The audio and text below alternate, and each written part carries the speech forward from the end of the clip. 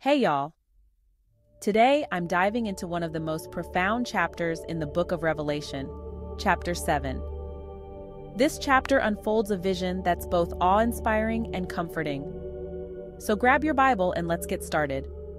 First off, imagine this scene four angels standing at the four corners of the earth, holding back the winds so that not even a leaf rustles in the trees, and the ocean is as smooth as glass. It's a moment of divine stillness. But then, another angel appears from the east, carrying the great seal of the living God. This angel commands the four others Wait, don't harm the earth or the sea or the trees until we have placed the seal of God upon the foreheads of his servants. So, how many are sealed? The number is 144,000, representing all 12 tribes of Israel.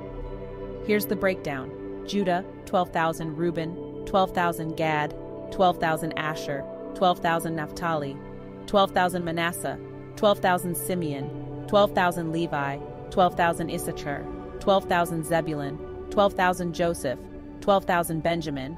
12,000 pretty specific, right? But the vision doesn't stop there. Next, John sees a vast crowd, too great to count, from all nations, provinces, and languages, standing in front of the throne and before the Lamb, clothed in white with palm branches in their hands. They're shouting with a mighty voice, Salvation comes from our God upon the throne and from the Lamb. What a powerful image of unity and worship. And if that wasn't enough, all the angels around the throne, the elders, and the four living beings fall face down before the throne, worshiping God. They proclaim, Amen, blessing and glory and wisdom and thanksgiving and honor and power and might be to our God forever and ever. Amen. Then one of the twenty four elders asks John, Do you know who these are who are clothed in white and where they come from? John replies, No, sir, please tell me. The elder explains, These are the ones coming out of the great tribulation.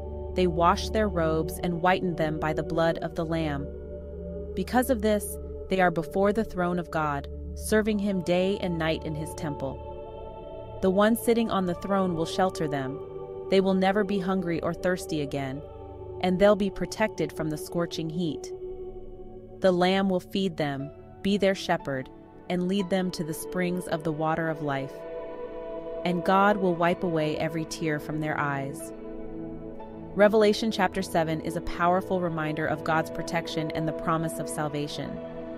It's about being sealed by God, enduring through tribulations, and ultimately standing before his throne in eternal worship. Thanks for tuning in, y'all. If you enjoyed this deep dive, don't forget to like, subscribe, and hit that bell for more Bible insights. Until next time, keep seeking and keep believing.